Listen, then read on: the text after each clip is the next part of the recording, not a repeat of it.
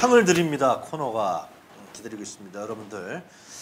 아, 지금 9시 20분 좀 늦었는데요. 우리 임세현 소장님께서 지금 상을 세 가지 상을 갖고 나오셨는데 네. 아, 참. 오늘은 뭐 좋은 네, 어떤 어떤 없습니다. 소장님도 일어나서 하시겠습니까? 네? 아, 아, 아니 필요하시면 뭐 아, 예, 아니 네. 제가 필요하면 전신보다는 이렇게 좀 앉아 있는 게 더 나을 것 같아서. 해주시고 네. 저희들이 이게 강점입니다 비디오 아, 예. 예. 나중에 여기다 한번 띄워 놓고 한번 해야겠네요. 아, 예. 안 띄워 달라면 그냥 띄워, 띄워줘요. 첫 번째 상부터 누군가요? 첫 번째 상. 네, 준비 에, 감독님 에, 준비 부탁드리겠습니다. 첫 번째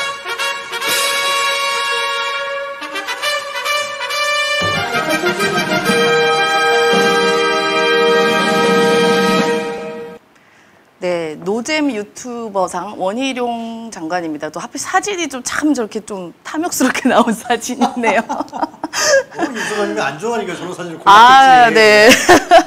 장관인데 그래도. 네, 아. 얼굴에 이런 게 다 어쨌든 본인의 이런 살아온 게 드러나죠, 아, 보통은. 네. 맞아요. 예. 아, 정확히 보시네. 대통령 선거 기간에 이상해졌어. 어, 맞아요. 건 아는데. 저 정도까지는 아니었던 아, 것 같은데요. 예. 요새 조금 더 거짓말하고 이상- 막 그러니까 맞아요. 억지 부리고 그러니까 네. 이상해지는 거지. 예. 그, 그 대선 때 이른바 이제 대장동 1타 강사라고 해가지고 네. 어, 많은 조회수를 기록해서 어, 굉장히 이제 인기 있는 유튜버를 꿈꿨었던 원희룡 장관이죠. 네. 근데 이제 최근에 본인이 다시 유튜버를 한 게 있는데 이거는 어. 1만 조회수 정도만 기록을 해서 아, 나보다 작네. 유영한 생활적으로 아유 뭐 반에 반에 반도 안 되는 것 같은데요. 네. 그래서 노잼 영은 게임이 안 되고. 예, 그래서 노잼 유튜버 상을 수여하도록 하겠습니다. 아. 네. 그래. 근데 그 왜 그렇게 됐는지 좀 얘기해 주셔야죠. 왜 네. 노잼이 됐는지. 어?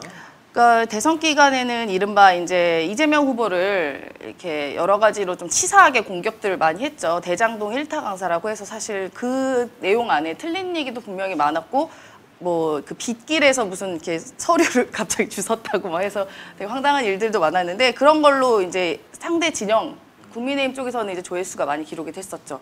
부인하고 뭐 있지 않았었어요? 부인도 이제 뭐 이재명 후보와 그 김혜경 여사한테 뭐 약간 뭐, 뭐 정신이 예, 와 그뭐 정신과 어떤 의사를 예 쓰겠다. 그런데 그걸 뭐 약간 뭐 사이코 편신이 뭐, 이런 등등의 뭐 입에 담을 수 없는 이야기를 하기도 했습니다. 네, 네. 예, 정신과 의사가. 예 그런 얘기해서 아마 고소 고발 조치가 있었던 걸로 알고 있습니다. 네. 저쪽은 다 무혐의야. 예. 이쪽은 경찰 수사 받고. 맞습니다. 압수수색하고 맨날. 그래서 지금은 이제 조회수가 이렇게 낮은 거는 이제 본인이 공, 일단은 장관은 공무 신분이기 때문에 네. 어, 본인 홍보를 막 할 수가 없어요. 어떤 정치적인 색을 드러낼 수 없기 때문에 주로 정책 홍보만 하고 있습니다. 그러다 보니까 국토교통부에 있는 유튜버도 있는데 본인이 또 원희룡 TV라고 해서 장, 그 정책에 대한 홍보를 또 하다 보니까 약간 중복된 경향도 있고 그리고 정책 홍보가 잘 아시겠지만 그렇게 재미가 있지 않습니다. 100만에서 1만 됐다라는 것은. 네. 뭐 영향이 뚝 떨어진 뭐, 거죠. 너 아니야 그런 거 아니에요? 특히 보수층들이 많이 볼 텐데. 네, 그러니까 뭐 사실 존재감이 이제 좀 뚝 떨어졌다고 저는 또 볼 수가 있죠. 그리고 시- 지금 사실 윤석열 대통령이 스타 정관을 해라라고 이제 주문을 했는데 어, 다른 분이 계속 스타가 되고 계시죠. 네, 맞습니다. 빡빡대 들고 말이야. 네, 이렇게 어? 앉고 막 국민 무시하고 말이야. 어? 오만 다다다다다다. 맞습니다. 네. 말씀해 보십시오. 설명해 보십시오. 의원님이 이야기하십시오. 이제 주로 이렇게 하죠. 네, 이제 그 레파토리가 있는 것 같아요. 네. 그러다 보니 본인의 존재감 자체가 좀 많이 떨어졌죠. 좀 나가서 국회 상임위 나가서 좀 덤비지 원희룡 장관도 말이야. 네, 그렇죠. 그리고 그럼 그럼 올라가. 그래도 이제 정치를 좀 오래 하셨던 분이다 보니까 뭐 그런 여러 의원들과의 관계도 있다 보니 뭐 그렇게까지는 안 하시는 것 같습니다. 뭐, 아, 근데 그그그그길그 뭐야 그 용기를 다시 내야지. 대선 때 그렇게 이재명 후보에 대해서 그냥 네, 그렇게 어 할 말안뭐할말 그냥 다 하고 예. 이재명 잡기 뭐 네. 뭐라 그랬지 그때 아 기억이 안 나. 뭐 대장 뭐 대장동 대장동 1타로 일타? 뭐 1타 아, 강사 그걸로 하겠다고. 지금 장관 된 거 아니에요? 네, 그걸로 장관 됐죠. 장관 된 거지 그걸로 그 전에는 원희룡이가 어떻게 윤석열 대통령 어떻게 알았겠어? 그렇죠. 그리고 뭔가 민주적인 사람 같다 뭐 해갖고 음. 잠깐 그걸로 위장 위장쳐 있었던 거 아니에요? 네. 자기가 마치 말이야 민주화 운동 했었다 옛날에 음, 어? 음, 그리고 뭐 하, 중립적인 것 같- 근데 대선 때 완전히 대장동 일타 강사하면서 윤석열 대통령이 윤석열이 어 그래 너 그래 열심히 한다. 네. 그래갖고 장- 장관시킨 거 아니에요? 그렇죠. 그리고 그 게다가 사람이 무슨 국토교통부를 국토교통부 알아? 전문성이 없는데 뭘 알아 도대체? 대장동으로 가- 일타 강사로 해서 아 대장동에 전문성이 있구나. 네, 대장동 일타 강사로 해서 그것도. 그래서 지금 최근에 어, 윤석열 대통령이 공약으로 내세웠던 그 일기 신도시를 이렇게 재정비한다는 내용도 사실상 공약을 뒤집어 버렸죠. 이것도 지금 시- 일기 신도시 부동산 가격이 질 떨어지고 있다는 거. 네. 맞아요. 분당, 일산, 뭐 평촌 이런 동네가 있는데요. 속았지 뭐. 네, 완전 속았죠. 2024 그쪽에 표 많이 나갔는데. 네. 예. 그래서 2024년 으로 이제 이걸 마스터 플랜을 만들겠다 하는데 이게 사실 좀 여러 가지 의도가 있는 것 같습니다. 그래요? 2024년에 어떤 게 있습니까? 이게 2024년에 재정비 계획을 수립할 거라고 했어요. 그럼 이미 이게 로드맵이 쭉 마련이 돼야지 왜 2024년에 그때 수립을 합니까? 그렇지. 그러면 이- 이게 수립을 하고 나면 최소한 뭐 2주라던가 이런 거 등등을 하는데 10년 넘게 걸려요 보통 네, 신도시 네. 재정비는 그러면은 본인의 정권 안에 안 하겠다는 건데 근데 대선 때는 사실 그걸로 표를 먹지 않았습니까? 분당 주민들 많이 많이 찍어줘야 네. 좋겠지. 근데 야. 다시 20, 24년을 이야기하는 건 20, 24년에 그걸 짠 발표를 하겠다는 얘기거든요. 그럼 그게 뭐냐? 2024년에 총선이 있지 않습니까? 그러면 그 총선을 의도한 거라고 저는 보여집니다. 음, 왜냐하면 지금. 인기가 없기 때문에 네. 총선이 또 중간 평가 지점이어서 네. 그- 그걸 노린 거 아니냐라는 의도를 또 지울 수가 없습니다. 이거 네. 김은영님이 원희영 집합가 조사하자고 댓글에 올리셨는데. 네. 그렇군요. 그 다음에 또 뭐 그래서 이제 이 그러니까 국토교통 이 신도시 같은 경우는 국토교통부 장관의 결정뿐만 아니라 워낙 큰 사업이다 보니까 그 관계 지자체도 함께 협력을 해야 됩니다. 그래서 이제 김동연 경기도지사가 이제 이런 부분에 대해서 이제 반격을 했죠. 이거 빨리 정립하고 수립해야 된다. 이렇게 하니까 또 원희룡 장관이 매우 불쾌해도 했었습니다. 알겠습니다. 아, 네. 불쾌 뭐 중요한 거 아니잖아요. 불쾌했다는 거. 뭐 뉴스에도 안 나오죠, 사실. 아, 그래요? 예, 찾아보니 나왔습니다. 원희룡 장관 좀 제대로 좀 하세요. 예? 네. 모르면 좀 배우시고. 예? 네. 이 국토교통부 우리나라의 주택 문제는 국민의 주거권에 대한 문제예요. 대장동 일타 강사 하듯이 하지 마시고요. 공부도 하시고 고민도 하시고. 예? 사실 우리- 우리가 상 드렸잖아요. 네. 부장님 상 드렸으니까 상 받아 먹고서 제대로 좀 하세요. 네. 그리고 이제 장관직을 걸고 하겠다 그랬거든요. 이거를. 근데 저는 장관직 걸고 뭘 윤? 대통령한테 일기 신도시 정비를 장관직 걸겠다라고 호언장담했는데 그건 사실 공약의 이제 뒷걸음질이니까 장관직 걸고 윤석열 대통령한테 당신 왜 공약 안 지키냐 빨리 지키라라고 하기를 더 권해드립니다. 장관직 건단 얘기로 임 소장님도 그렇게 해석하시는구나. 네 그렇게 하셨으면 하는 바람이 듭니다. 국무총리 시켜준다고 하겠지. 그럴지도 모르죠. 자, 두 번째 상 들어갈까요? 두 번째 네. 상. 네, 두 번째 상 우리 준비 이제 원희룡 장관은 없애고요. 네, 다 여기 있어요. 어, 누구야 이 사람이? thank you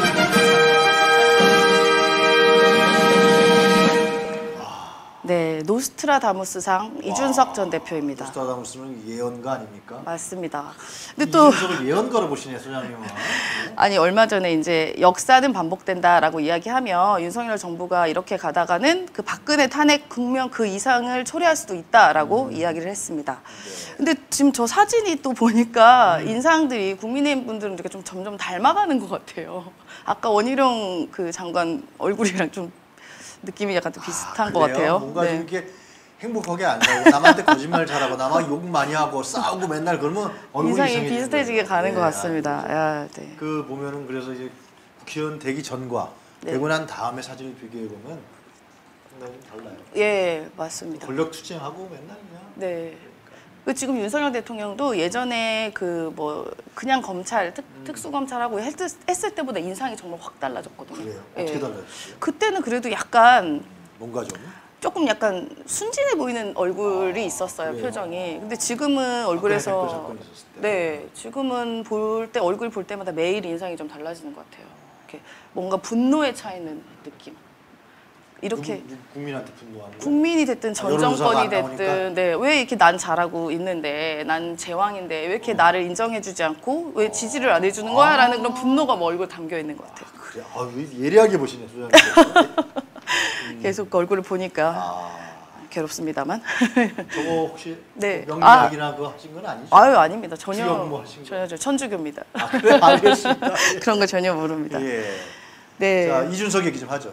네, 그래서 왜 노스트라다무스가 상을 상을 줬어요? 그러니까 이, 이, 그 이준석 전 대표가 그 탄핵 국면 그 이상의 사태라고 이야기를 했는데 사실상 탄핵이라 하면 사실 우리 국민에게는 좀 아픈 트라우마 같은 것이죠. 저희가 그 현 대통령을 어쨌든 어, 대통령직에서 끌어내리고 하는 그런 또 과정이? 예, 또 강화문 나가야 돼? 또 정말 촛불 들어야 돼? 모든 힘을 다해서 했던 그런 사실인데 네. 그래서 그때를 기억해 보면 박근혜 전 대통령 같은 경우는 이제 최순실 이른바 최순실이 비선 실세라고 해서 네. 뭐 인사 개입하고 뭐 이렇게 헬스 트레이너였던 분을 행정관을 앉혔고 여러 가지가 기억이 이제 우리가 점점 잊고 있지 않습니까? 그다음에 연설문 고치고 뭐 이렇게 있었어요. 근데 그때는 그런 뉴스 하나하나가 저희가 어떻게 저럴 수가 있지? 라고 다 놀랐는데 지금은 그와 비슷한 일들이 매일 발생하고 있지 않습니까? 그러니까 지금 우리가 어, 이게 뭔가 면역력이 생긴 것 같아요. 지금 사적, 사적 채용, 뭐, 사사로운 건들, 뭐, 이렇게 비선 실세 개입으 로 정황되는 것들들이 네. 매일 뉴스에 나오다 보니까 네. 정말 이게 너무 어떻게 보면 이게 잘못한지도 모르게 우리도 면역이 생기는 거 아니냐라는 걱정이 됩니다. 네. 그래서 그런 부분에 대해서 이제 이게 이제 골무면 터질 수 있다라는 것을 이제 이주석 전 대표가 어, 지적을 하고 있는 부분이라고 저는 보여집니다. 우리 임 수장님께서는 이준석 이준석의 예언 중에서 뭐가 맞, 맞을 거라고 생각해요? 이준석 전 대표가 예전에. 예, 많이 대선 전부터 얘기를 많이 했는데 그 당시에 이제 윤석열 검찰총장이 총장직을 내려놓고 입당하니 많이 했었을 때 그때 아 윤석열이 대통령 되면 나는 지구를 떠날 거다. 뭐 이런 식의 발언을 했어요. 예. 근데 정말 이거는 예언대로 됐습니다. 지금 지구를 아니라 이준석 대표가 본인이 어디든 이게 가처분이 인용이 안 되면 이제 잠적하겠다고 했거든요. 그러다 보면 그러니까 그때 예언을 한 하여튼 거는 맞죠. 떠난 거네. 네, 네. 국민의힘이든 또 이걸 꺼내든 맞, 맞은 거, 맞을 거 같은 거. 어, 또 기억이 안철수 대표는 뭐 손가락 자르고 싶을 거다가 있었고 아, 이준석 대표도 비슷한 이야기를 예전에는 하셨습니다. 그리고 그, 이, 그 윤석열 대표가 입당하려고 했었을 때 그 입당을 약간 이렇게 약간 간을 봤지 음. 않았습니까? 이제 그때 이준석 대표가 휴가를 갔었을 때였을 거예요. 아마 요 요쯤 시기인 것 같은데 그때 정말 도둑 입당을 했습니다. 대선 후보로 들어가려는 사람이 대표의 네. 대표도 대표가. 모르게 예, 어. 모르게 도둑 입당을 했었을 때 이준석 대표가 그 당시에 매우 불쾌했었다고 하더라고요. 그래서 그 이후에 이제 입당을 했고 여러 가지 사건들이 있었을 때 서로 간에 갈등이 되게 많았었다고 합니다. 그래서 그때도 만약에 그 갈등 때문에 윤석열 그 당시 후보가요, 윤석열 후보가 대통령이 되면 어, 본인을 보복할지도 모른다는 얘기를 했다고 해요. 그러니까 이것도 사실상 예언이 들어맞은 거죠. 예. 아, 그건 맞았네. 네, 네, 맞은 보복하고 거죠. 있잖아, 지금. 네, 보복하고 있지 않습니까? 우리 눈으로 매일매일 보고 최근에 있어요. 이준석 이준석이 얘기한 여러 가지 얘기들 많 절대자 뭐 많이 얘기하지 않았어요? 네, 뭐 신군부부터 시작해서 어, 그것도 맞겠네 그럼. 그것도 맞죠. 절대자가 사실상. 되겠네. 절대자로. 절대자. 어. 절대자 되면 안 될 텐데. 지금보다 더 절대자가 되면 우리 국민이 너무 괴롭지 않겠습니까? 네. 내일 집회 안 나가세요? 내일 나갑니다. 예. 네. 왜 나가는지 아시죠? 예, 예. 저기서 열심히 제가 십시일반 돕기 위해서 저도 내일 집회를 나갑니다. 절대자라는 것을 우리 우리나라 국민이 네. 인정한 적이 한 번도 없어요. 어, 그런 부분도 신 신군부다. 신군부 뭐 이런 얘기도 나오고요. 이준석의 예언. 예. 그래서 또 이준석 대표가 또 오늘 아침인가요? 어젠가요는 또 그랬어요? 어젠가요는 지금 뭐 비선 뭐 비선 개입 그다음에 수의 계약이 번번이 이루어지고 있다 이 아, 정부에서 그 그런? 얘기까지 했어요.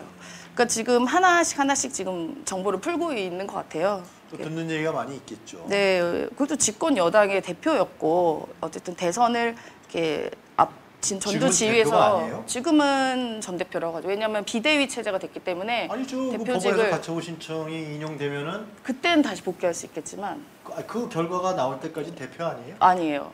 네, 지금 그래서 뉴스에도 다 이준석 전 대표, 전 저는 대표, 뉴스가 틀린 것 같아요. 전 대표라고. 법원에 그걸 걸었는데 그걸 보고 나서 해야지 뉴스에서는 그냥 비대위원장 됐다 그래서 대표 아니라고. 네, 그러니까 이게 체제가 이제 정당이 비대위 체제로 전환되게 되면 기존 기존에 있는 대표 체제가 아예 없어지는 거기 때문에. 얘기. 네, 이준석은 아니라는 거야. 그- 어쨌든 이준석은-. 그 이준석은 하지 마, 이거 아니다, 취소야라고 얘기하지만 이제 결론이 나야지. 윤핵관은 절대 인정하지 않으려고 하고 만약에 가처분이 인용이 되더라도 어, 이준석 몰아내기 위한 작전을 짜고 있, 있다고 하죠. 이준석 대표 말로는. 알겠습니다. 네. 세 번째 우리 상. 세 번째 상은 누군가요? 마스크 쓰신 분이네. 네. 네, 이준석 네, 치우시고. 오, 야. 아, 이준석 잘 아시는 것 같아요. 여성이네요. 네. 누굽니까? 네. 사실상 뭐 윤석열 대통령 위에 계신 분이라고 칭하기도 하죠. 어, 재산도 더 많, 훨씬 네. 많아요. 재산 공개됐는데 거의 다 이제 김건희 씨죠 재산이. 맞습니다. 그래서 봉사 대상입니다. 저 김건희 근데 여사. 아 봉사 아 이번에 간 거. 네. 수해복구 현장에서 이제 작업복 차림과 마스크를 쓰고 네. 이제 아무도 모르게 봉사를 했다. 그래서 아무도 못 알아봤다라고 어. 이제 김건희 여사에게 네. 그런 이야기가 나오죠. 그래서 봉사 대상을 드립니다. 너 어떻게 알았어요? 이게 말이 안 됩니다. 아이고 뭐 아니 비공개로 갔다 오는데 어떻게 알- 다 사진도 찍히고 다. 사진이 일단 없고요. 그러니까 예전에 그 김정숙 여사가 봉사를 했었을 때는 정말 비공개로 갔었습니다. 이거는 제가 알고 있습니다. 그래서 정말 수행원 딱 몇 명만 어디로 가는지도 모르게 싹 갔었고 그래서 그 당시에 이제 수해 현장에서 봉사 활동도 하고 그다음에 봉사하시는 분들한테 이렇게 배식하는 걸 했는데 배식했을 때 어느 분이 어 많이 본 분인데 해서 주민이 어머 김정숙 여사 아니에요?라고 주민이 실제로 그 사진을 찍었어요. 그래서 그래서 공개가 됐었거든요. 그럼 보통 비공개에 갔을 때는 저희가 언론이나 언론 쪽에 배포를 한다거나 알리지 않습니다. 네. 그럼 그냥 정말 조용히 갔다가 조용히 와요. 근데 그러다 보면 비공개에서 주민이 발견하거나 뭐 그런 경우 말고는 공개를 하지 않는데 소셜 미디어에다 올립니다. 네, 그런 경우 그래서 알려지는 경우인데 지금 같은 경우는 대통령실에서 먼저 김건희 여사가 비공개로 봉사활동을 했다라고 이야기를 합니다. 짜고 고돌하는. 그래서- 고스톱 친 거지 완전히. 나는 비공개 그래 공개해라. 네, 꾸준히 봉사활동을 하고 있다고 파악했다라고 이야기를 합니다. 그 이걸 그럼 차라리 공개로 가서 하시지. 글쎄 말이야. 그걸 저 비공개라고 합니까? 이해가 안 되는 거죠. 그러니까 그리고 뭐 사진은 다 나와. 그렇죠. 근데 다 이 봉사 활동 간 사진은 없어요. 근데 실제로는. 아 그래요? 예, 이 말한 사진을. 그러니까 이게 실제로 간, 간 건지에 대한 또 의구심이 생기는 아, 것이죠. 알 수가 없다. 네, 알 수가 없죠. 예리하시네요 우리 임. 네, 사진조차 안 나오고. 아, 그리고 저는 또 이게 또 궁금한 게 이게 뭐 수액 기간 동안 여러 차례 갔다 일주일에 세 번 이상 갔었다. 비공개로 갔다. 최소한의 경호 인력만 갔다 이렇게 얘기하는데 이거 이제 미담화 하려고 대통령실에서 일부러 이렇게 이야기를 한 것 같아요. 네. 그래도 아무리 비공개라도 이렇게 경호의 인력이 일정 부분 무조건 가야 되기 때문에 이런 게 다 기록에 나올 수밖에 없습니다. 네. 예, 이 경호처 기록에는. 이런 거를 이렇게 이렇게 갖다 공개를 해도 돼요. 이제 이미 알려졌으면. 근데 이제 자료도 있고 할 텐데 그런 거 이야기 안 하는 거 보면 이게 진짜 갔는지에 대한 의구심이 좀 생길 수밖에 없는 거죠. 검사를 비공개를 하게 되면 네. 미담이 되는 거구나. 그러니까요. 뭘 굳이 미담으로 합니까? 그냥 아, 대놓고 봉사는 하시지. 봉사 그 자체가 중요한 거예요. 그렇죠. 봉사를 그러니까 여러분들 항상 이제 공개하지 마시고요. 비공개로 꼭 하세요. 네. 그러면 이게 미담으로 기네스북에 올라가네. 비공개 봉사 몇 회. 근데 이분들의 DNA가 미공개인 거를 공개하고 싶어하는 DNA가 있지 않습니까? 얼마 전에도 국민의힘에서 수해 현장에서 가서 뭐 비 많이 왔으면 좋겠다라고 이야기해서 문제가 됐었던 것도 사실상 봉사를 하려고 가는 게 아니라 나 봉사했어요라고 알리려고 간 거기 때문에 지금 이 김건희 여사의 비, 미, 비공개라고 주장하는 이 봉사도 굳이 알리고 싶어서 이제 이야기를 한 거라고 저는 생각합니다. 자 우리 저 김건희 씨 얘기 나왔으니까 두 가지 좀? 공수처에서 네. 대통령 사적 채용 논란 이거를 우리 김건희 씨에 대한 수사를 검토하고 있다 그러는데 이 할것 같습니까? 공수처 김지적 처장 용기를 내는 거예요? 저기 앉아 있다가 네. 감사원 감사 받는데 네. 할수 있겠어요? 정말 조용히 정말 용기를 크게 내셨으면 좋겠고 꼭 이루어지기를 바라고 있습니다. 근데 그리고 이게 너무 지극히 자기, 자기 직을 걸어야 되는데 할까? 직이고 목숨을 다 걸고 하셔야죠. 말 목숨까지는 안 걸어도 되고 이게 너무나 당연히 공수처에서는 이런 부분을 수사를 하라고 있는 곳인데 그동안 안 한 게 사실 비정상적이고 지금의 뉴스가 정상의 뉴스가 아닙니다. 이건 너무 당연한 건데 이런 걸 우리가 어, 놀라운 뉴스로 받아들여야 하는 이러한 현실이 참 개탄스럽죠. 이미 이제 논문 표절이라던가 또 허위 경력, 허위 학력 뭐 이런 부분에 대해서 고소 고발이 들어가 있었는데 전부 무혐의랑 뭐, 뭐 증거 없음 처리가 돼서 또 불송치가 전부 다 되고 있지 않습니까? 그러니까 이제 뭘 또 기대를 할 수 있을까 싶습니다. 여러 가지로 안타까운 부분인데 이렇게 임 되는 게 김진욱 처장이 네, 한 달에 한 표입니까? 안 한 달에 한 표입니까? 했으면 좋겠다라고 생각합니다. 아니 할것 같아 안 할 것 같아 하다가 말겠죠. 하다가 말 것 같아 흉내다가 어? 흉내만 내다가 말지 와, 않을까 싶습니다. 흉내만 내다 만다가 한 표. 아, 네. 정확한 표현이었어요. 네. 네. 이 공수처 처장을 좀 잘 임명했어야 되는데. 아, 뭐 참 안타까운 부분이죠. 그 이렇게 지금 여러 가지 의혹들과 사실상 기정사실화 됐었던 왜냐면 이거는 김건희 여사 스스로가 뭐 내가 돋보이려고 허위 네. 경력했다고 이야기를 본인이 이야기한 건데 그게 증거 없고 혐의가 없다는 것 자체가 이게 매우 이제 불행한 거죠. 이거는 윤석열 정부에도 불행한 일입니다. 이거를 상처를 덮기만 한다고 낫는 게 아니라 이게 오히려 더 곰게 되죠. 그래서 오히려 인정할 건 인정하고 잘못한 거에 대해서는 정당하게 어, 수사든 뭐든 받아야 이게 다음부터 다시 새살이 돋아- 돋아날 수 있는 건데 자꾸 감출수록 저는 고름이 더 깊어질 거라고 생각 듭니다. 그거는 우리가 100일을 보면서 다 결론이 난 문제 아닌가요? 어떻게 할 건가를? 모든 걸 다 보여주고 있죠. 지금 또 사람만 능력과 의지가 있는지. 네, 네. 그러니까 김건희 여사가 스스로 이제 그 서울의 소리에서 7시간 통화에서도 내가 권력 잡으면 경찰이 알아서 입건할 거야라는 것을 지금 우리가 매일 보고 있지 어, 않습니까? 그 얘기 좀 하세요. 지금 네. 그 어딥니까? 그 시민 언론 네. 압수수색 어제 들어갔었죠. 네, 줄리 의혹 보도한 곳인데 예, 예전에 구 열린 공감 TV인데 이게 좀 분리가 됐다고 하더라고요. 네. 이제 그쪽 사무실을 이제 압수수색을 했다고 합니다. 더 탐사가 압수를 했죠. 네, 그래서 어떻게 보세요?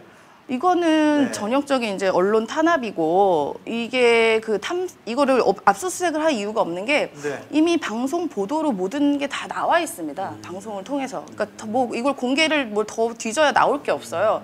근데 아마 이제 이쪽에서 이야기를 하는 거는 아마 다른 게 혹시나 더 있을까 봐 압수수색한 것이 네. 아니냐라는 그러한 추측도 있더라고요. 저도 이 부분에 대해서는 어, 그런 게 딱 걸리니까 왜, 왜 압수수색했다고 보세요?